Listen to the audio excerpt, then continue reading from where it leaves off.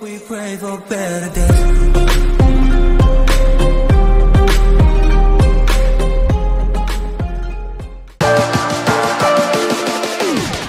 Never count on me